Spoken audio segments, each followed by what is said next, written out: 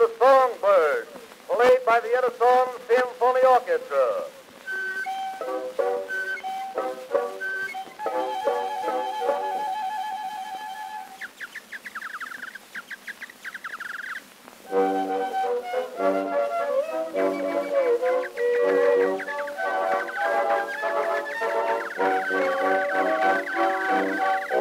Thank you.